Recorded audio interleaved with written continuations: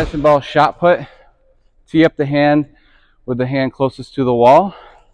Other hand is going to be placed in the back of the ball. You're going to shift and rotate toward the wall and push at the end.